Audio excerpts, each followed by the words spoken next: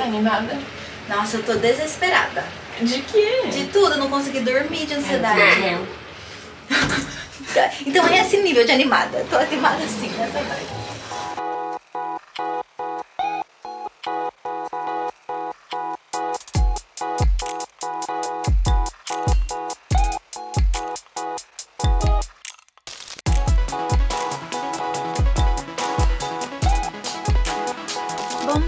Gente! Esse é o vlog dos bastidores das gravações do meu projeto com a de estúdio Tem que Sustentar. Hoje é o nosso primeiro dia de diária, primeiro dia que a gente vai começar a gravar o primeiro episódio. Na verdade, a gente vai começar pelo quarto episódio, né? Mas eu tô muito empolgada, a gente tem conversado com a Dia, feito várias reuniões de pauta, roteiro, enfim, é, identidade visual uns meses. E finalmente vai sair do papel. Foram algumas várias semanas de organização e serão duas semanas de gravação, de produção, para estar tá tudo pronto para a estreia da Dia TV, que vocês já conhecem, já podem acompanhar a live 24 horas por dia com uma programação sensacional e o Tem que Sustentar tem a honra de estar junto. Bem, estou aqui já hidratada, tanto de líquidos quanto de pele, né? Eu já descolori minha sobrancelha hoje. Vou me maquiar rapidamente. Pra maquiagem, é, a gente vai ter diárias muito rápidas, né? A gente vai ter... Vou falando com vocês e arrumando aqui rapidamente. As diárias vão ser bem corridas, né? É um esquema meio profissão repórter, então a gente vai para vários lugares para conversar com várias pessoas.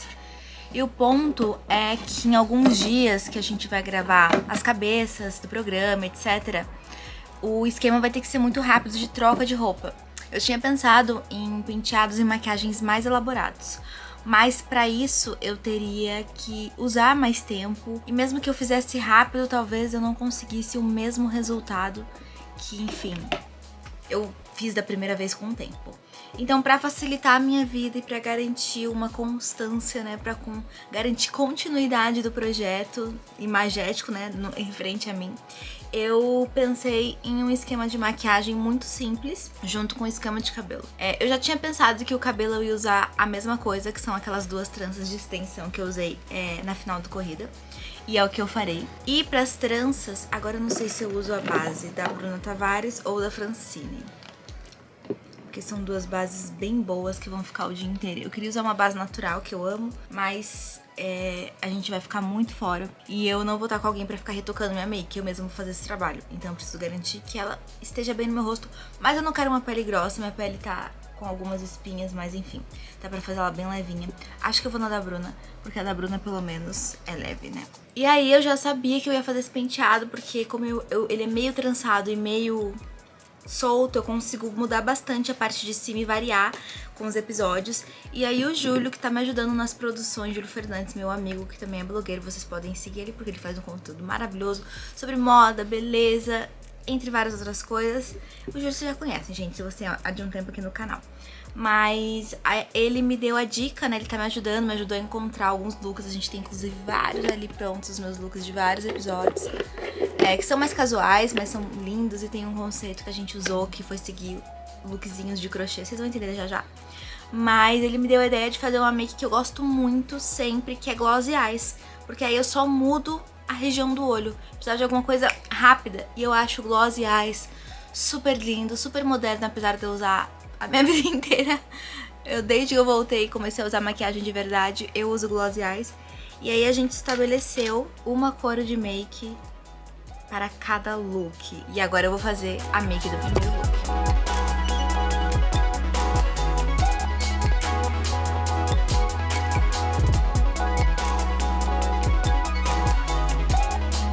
O descarte incorreto de roupas íntimas e tecidos é um grande problema no Brasil. E talvez a gente possa começar elencando os motivos pelos quais esse problema existe. Mostrei meu look, nem meu penteado, não mostrei nada, só saí de casa atrasada. É, eu tô indo com esses copos aqui porque eu vou. Eu tô levando meu secador pra dia. Não consegui tomar café, não consegui tomar nada. Fiz um baby hair. Vamos lá, meu casa.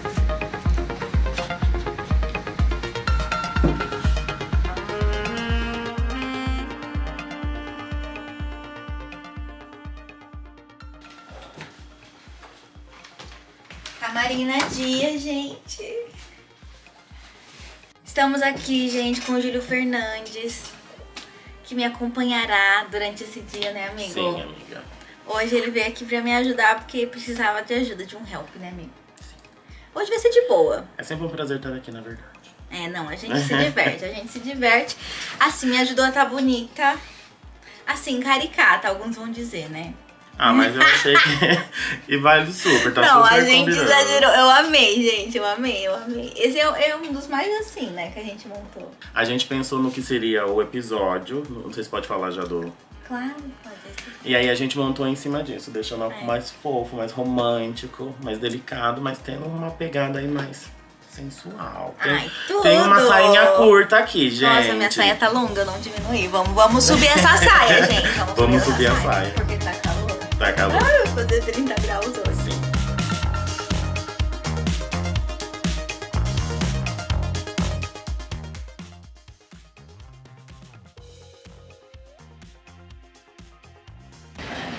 Tá animada? Nossa, eu tô desesperada. De quê? De tudo, eu não consegui dormir de ansiedade.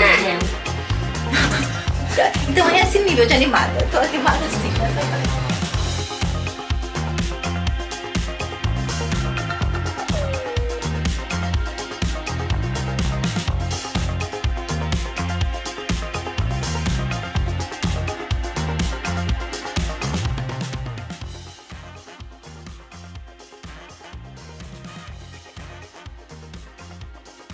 na verdade. Um oi aqui, sem áudio, sem nada, DG alto assim, e eles te apresentando no espaço. Isso tudo vai funcionar como imagem, assim, tá? Aí depois a gente para pra conversar.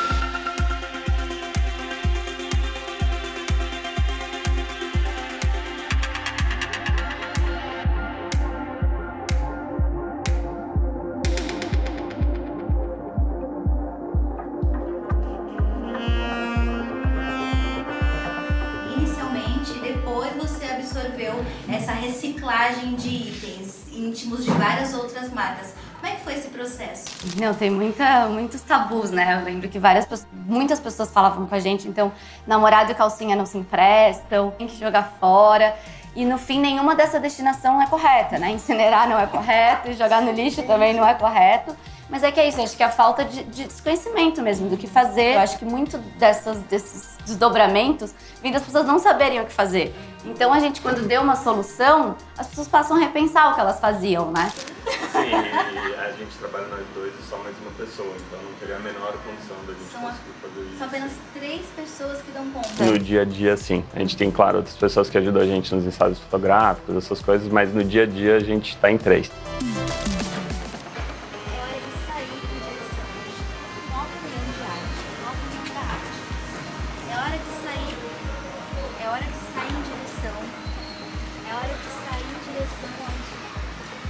Cena 8, introdução Leninha. Chegou a hora da gente entender quais são as possibilidades de uso e destinação dessas peças e por isso a nossa primeira conversa vai ser com a representante da marca Leninha Roupa de Baixo. Vamos lá.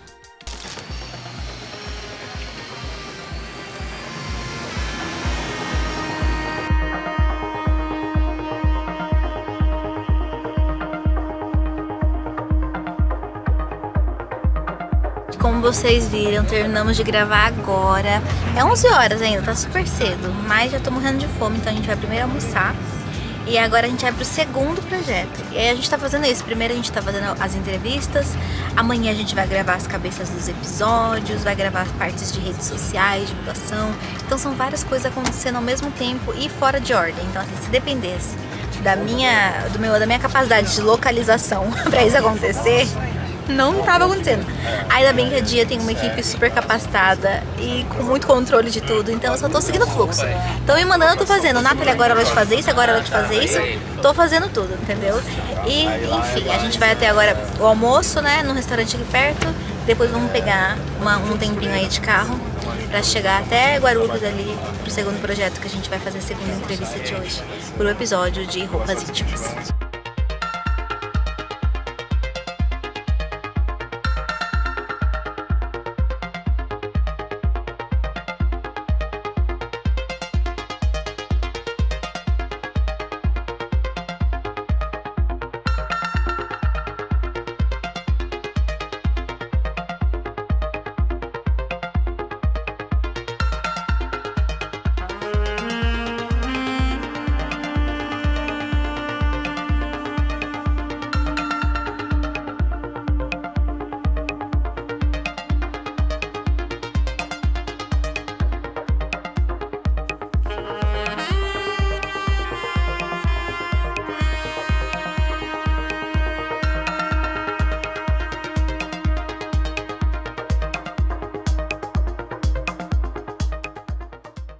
Gente vai agora conhecer um pouco mais sobre o projeto Flor de Cabroeira aqui em São Paulo e entender mais sobre esse projeto que gera renda a partir da reciclagem para esse grupo de mulheres.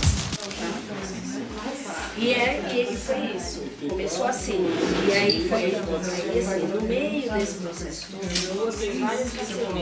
Aliança Empreendedora. Essa semana no Tem que Sustentar, a gente vai falar sobre um assunto polêmico: roupas íntimas usadas. Será que o destino dessas peças é o lixo comum?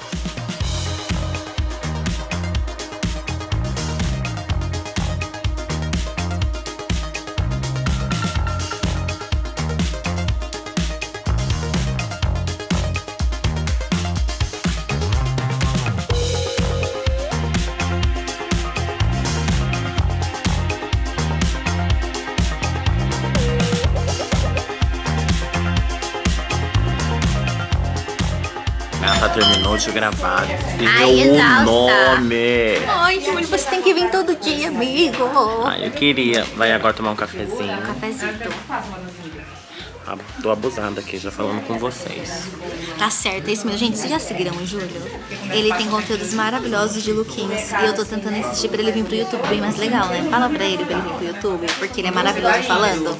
Eu vou vir, eu tenho que vir, né, na verdade. Ai, pelo amor de Deus, Júlio. Ele tem canal, tá? Vocês podem se inscrever e cobrar nos comentários pra ele aparecer mais aqui. É o mínimo, é o mínimo. Se me cobrar, eu venho.